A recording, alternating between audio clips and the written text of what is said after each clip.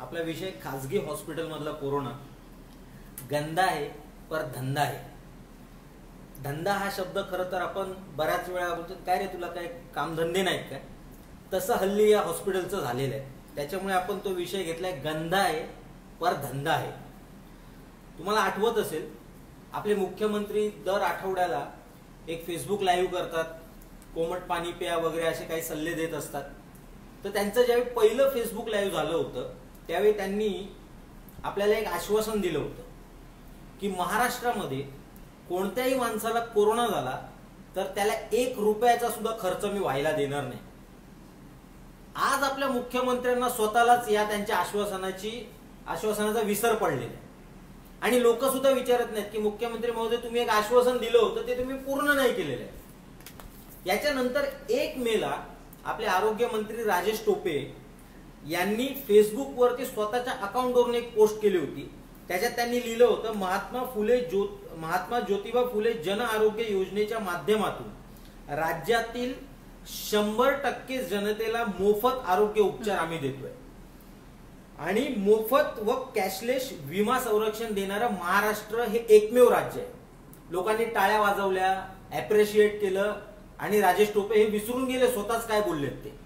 कारण जर एक मेला तुम्ही बोलताय की महाराष्ट्रामध्ये आम्ही शंभर टक्के जनतेला मोफत आणि कॅशलेस विमा संरक्षण देतोय तर आज खासगी हॉस्पिटलमध्ये जी दोन दोन तीन तीन लाखाची बिलं लोकांची तयार होतात ती कोणी भरायची?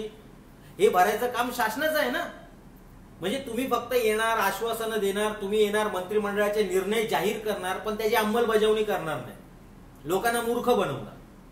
आता मगाशी जे ताईंनी सांगितलं वेदांत हॉस्पिटलचं साडेचार साडेपाच लाखाचं बिल आम्ही माफ केलं याच वेदांत हॉस्पिटलचं अजून एक बिल मी तुम्हाला सांगतोय. खरं तर या हॉस्पिटलवरती राजेश टोपेंमध्ये जर हिंमत असेल तर त्यांनी कारवाई केली पाहिजे. कारण एक मेच्या नंतरची यांची सगळी बिलं कोरोनाची तुम्ही चेक करा ही सगळी लाखाच्या वरची आहे जर तुम्ही ती मोफत देणार शंभर टक्के जनतेला म्हटलेलं आहे तर ही खासगी हॉस्पिटल्स एक नि दोन लाखाची बिलं चार लाखाची बिलं ही देतातच कशी लोकांना? तुम्हाला स्वतःला मंत्री म्हणून प्रश्न पडत नाही का याचा? हे वेदांत हॉस्पिटलच्या बिलमध्ये यांनी लावलेले मी तुम्हाला चार्जेस सांगतो. यांचा पहिला चार्ज आहे डॉक्टर व्हिजिट चार्ज मुळात ज्यावेळी तुम्ही हॉस्पिटल ते स्थापन करता त्याची परमिशन घेता त्यावेळी तिथे डॉक्टर कायमस्वरूपी असल्याशिवाय तुम्हाला परमिशन मिळत नाही. मग जो डॉक्टर कायमस्वरूपी आहे तो तुमच्या हॉस्पिटल व्हिजिट कशी करू शकतो? तो तर कायमस्वरूपी आहे तिथे. म्हणजे अशा कायमस्वरूपी हॉस्पिटलचे सुद्धा पर व्हिजिटचे दोन बाराशे रुपये हे लोक पेशंटला लावत आहेत खरं तर शासनाने हे जे व्हिजिट चार्जेस आहेत यांचे बंद केले पाहिजे कारण ते लॉजिकलच नाहीये. याच्यानंतर यांचा खर्च आहे पॅथॉलॉजी चार्जेस सदतीस हजार सहाशे पंधरा रुपये चौदा दिवसाचे लावलेले एखाद्याला ज्यावेळी कोरोना होतो ना मी या बिल बिलाच्या संबंधात तुम्हाला सिव्हिल हॉस्पिटलमध्ये काय ट्रीटमेंट चालते कोरोनाची याची तुम्हाला पहिली माहिती देतो. जेणेकरून तुम्हाला प्रायव्हेट हॉस्पिटलमध्ये हे काय करतात ते लगेच कळेल. सिव्हिल हॉस्पिटलमध्ये ज्यावेळी एखाद्याला ऍडमिट केलं जातं त्यावेळी त्याला पहिलं तर इंजेक्शन दिलं जातं. म्हणजे सायन हॉस्पिटलमध्ये इंजेक्शन देतात. सेव्हन हिल्समध्ये ते इंजेक्शन सुद्धा देत नाहीत. फक्त गोळ्यांवरती ट्रीटमेंट चालते. इंजेक्शन कुठलं आहे? Methyl prednisolone five hundred M G. हे रोज इंजेक्शन द्यायचं. त्याच्यानंतर एम जी बीडी तीन दिवसासाठी द्यायचं आहे. Piptaz four point five G M हे द्यायचं आहे ट्रीटमेंटमध्ये. आणि त्याच्यासोबत हे गोळ्या देतात. गोळ्या कुठल्या आहेत? Hydroxychloroquine four hundred M G या दिवसातून दोन वेळा द्यायच्या Tamiflu seventy five M G दिवसातून दोन वेळा द्यायचे. Azee five hundred M G दिवसातून दोन वेळा द्यायचे. Vitamin C five hundred M G आणि गरज पडेल तसं गरम पाणी द्यायचंय आणि तुम्हाला गोळण्या करण्यासाठी मिठाचं पाणी द्यायचं ही ट्रीटमेंट आहे कोरोनासाठी सिव्हिल हॉस्पिटलमध्ये अगदीच जर एखाद्याला ब्रिदिंग प्रॉब्लेम असेल श्वास घेता येत नसेल तर त्याला ऑक्सिजन दिला जातो. आणि त्याच्याहून थोडं क्रिटिकल असेल तर त्याला व्हेंटिलेटरवरती ठेवलं जातं. आता याच्यासाठी काय खर्च येणार? तुम्ही कुठल्याही मेडिकल शॉपमध्ये जा आणि मी ही जी औषधं सांगितलेली आहेत यांचा खर्च बघा. हा खर्च तुम्हाला दोन तीन हजारच्या वर जातच नाही. म्हणजे मी दोन तीन हजार पण कदाचित जास्त बोललेलो कारण हे हा खर्च तुमचा डिवाइड होणार आहे दोन तीन दिवसांमध्ये. मग जर इतकाच खर्च येणार आहे बरं तुम्ही प्रायव्हेट हॉस्पिटलमध्ये सर्जरी करताय काय? कोरोना हा रोग सर्जरीचा आहे का? नाही. म्हणजे तुम्हाला त्या कैच्या लागणार नाही आहेत ना ते ब्लेड्स लागणार आहेत त्यांचे कटिंगसाठी ना तुम्हाला बँडेज बँडेज लागणार आहे ना कुठलं दुसरं औषध लागणार आहे. कारण सर्जरीच नाहीये त्याच्यात. बरोबर? त्याच्यानंतर तुम्हाला हीच औषधं तुम्ही प्रायव्हेटमध्ये देताय तर तुम्हाला दोन तीन हजारच फार्मसीचा खर्च आहे. तुम्ही फार्मसीचे खर्च किती लावताय? एक लाख चौदा हजार चारशे पंधरा वेदांत हॉस्पिटलने चौदा दिवसाचा खर्च लावलेला म्हणजे जो खर्च दोन तीन हजाराचा आहे तो तुम्ही एक लाख चौदा हजार चारशे पंधरा काय दिलं याच्यात? एक लाख चौदा हजार चारशे पंधरा रुपयामध्ये तुम्ही पेशंटला काय दिलंय? वॅक्सिन तर अवेलेबल नाहीये. तुम्ही हीच औषधं देणाऱ्याची सिव्हिल हॉस्पिटलमध्ये देत आहेत जेवण द्याल. याच्या व्यतिरिक्त तुम्ही काय देणार? मग जर एक लाख चौदा हजार चारशे पंधराचा खर्च फक्त फार्मसीचा लावला जात आहे सरकार आंधळं झालंय का? सरकारला दिसत नाहीत हे खर्च? हे खर्च सरकारला याच्यासाठी दिसत नाहीत कारण या मंत्रिमंडळात बसलेल्या मॅक्झिमम लोकांचे स्वतःचे खासगी हॉस्पिटल्स आहेत. आणि त्या हॉस्पिटलमध्ये आता चांगला धंदा चालू आहे. तो धंदा यांना संपवायचा नाहीये म्हणून यांचं फार प्रायव्हेट हॉस्पिटल्सकडे लक्ष नाहीये.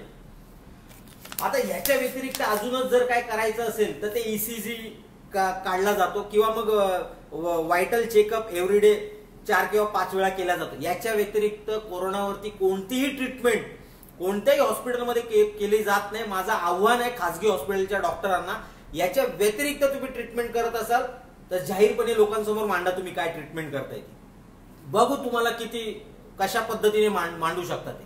तुमच्याच बिलाचं क्लेरिफिकेशन तुम्हाला देता येतं का बघू? अहो केईएम हॉस्पिटल आहे पुण्याचं. या केईएम हॉस्पिटलमध्ये नॉन कन्झ्युमेबल चार्जेस म्हणून सत्तर हजारचं बिल लावलेलं आहे. आणि त्याच्यामध्ये पीपीई किट जे वापरले त्याचं हे बिल आहे. आता ज्यावेळी डॉक्टर पीपीई किट घालतो एकदा घातलं की तो पाच ते सहा तास ते अंगावरून काढत नाही आणि त्याच पीपीई किट वरती तो त्या हॉस्पिटलमधल्या मॅक्झिमम पेशंट्सला तपासतो. मग एकाच पेशंटच्या माथी तुम्ही सत्तर हजारचं बिल कसं काय पीपी किटचं मारू शकता? म्हणजे हा जो काय धंदा चालू आहे ना या धंद्यावरती शासनाचं लक्ष नाही.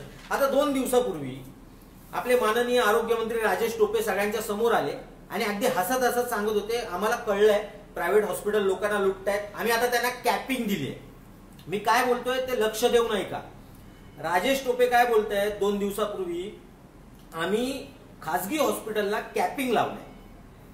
आता हे स्वतःच्याच बोलण्याला फोडतायत. कारण एक मेला ज्यावेळी तुम्ही तुमच्याच फेसबुक अकाउंटवरून बोलतोय शंभर टक्के जनतेला आम्ही मोफत आरोग्य उपचार आणि मोफत व कॅशलेस विमा संरक्षण देतोय.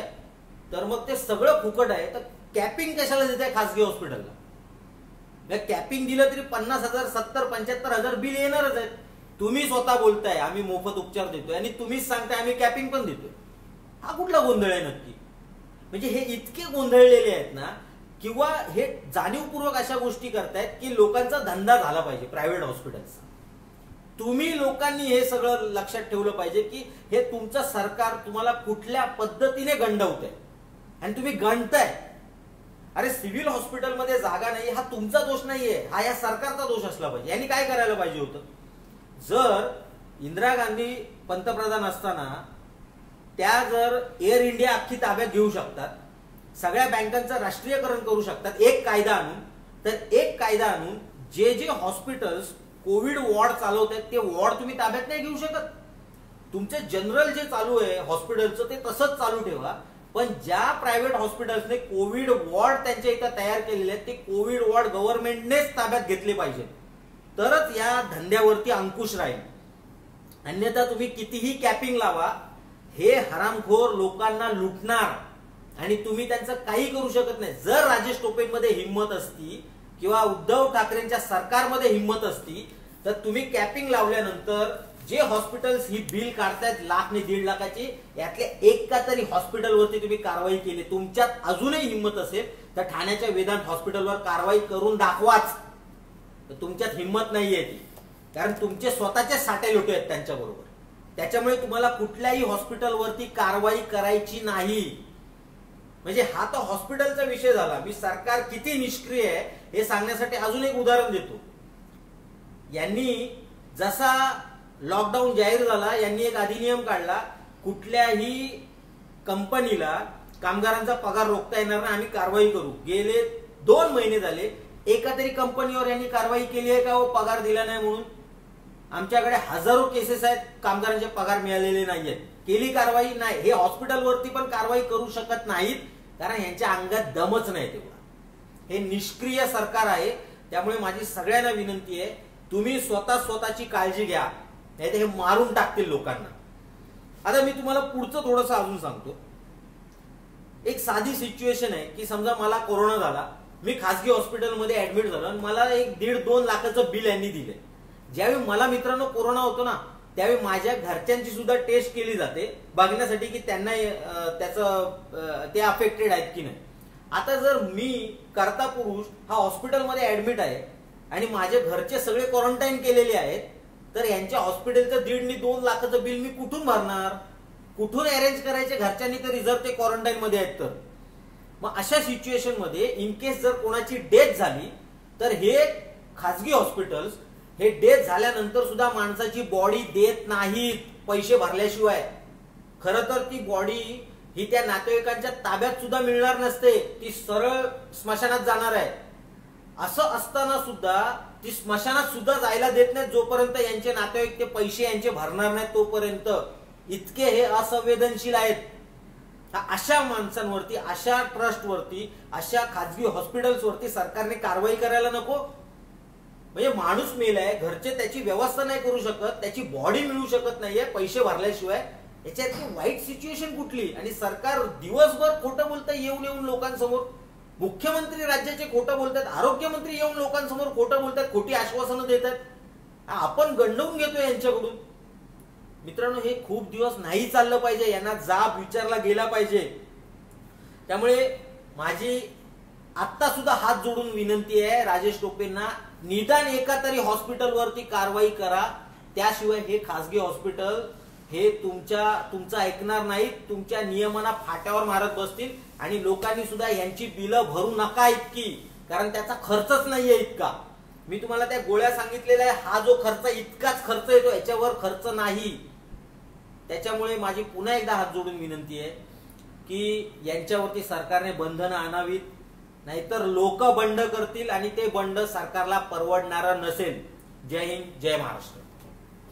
योगेश जाता जाता जाता आपल्याला एक विषय ते हे मांडलंच पाहिजे. आपण तर करणारच आहोत पण आज लोकांनी सतर्क होणं गरजेचं आहे.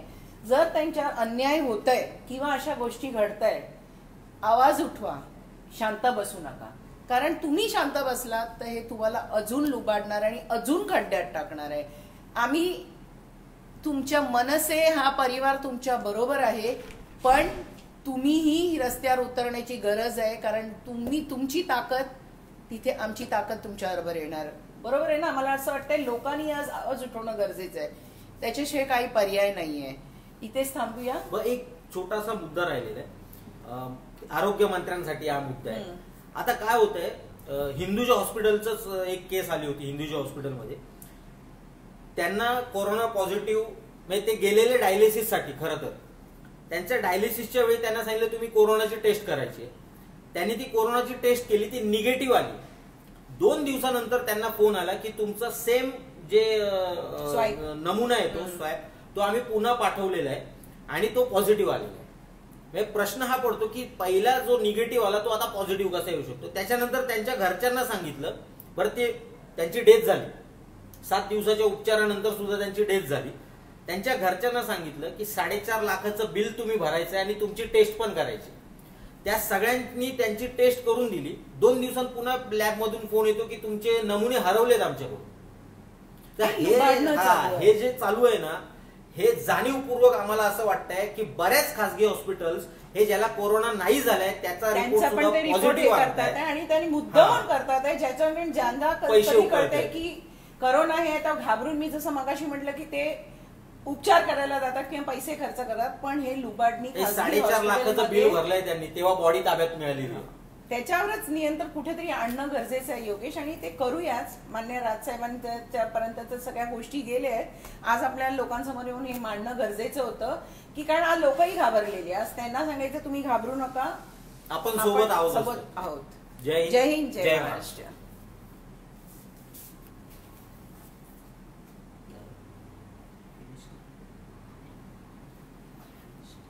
Alô.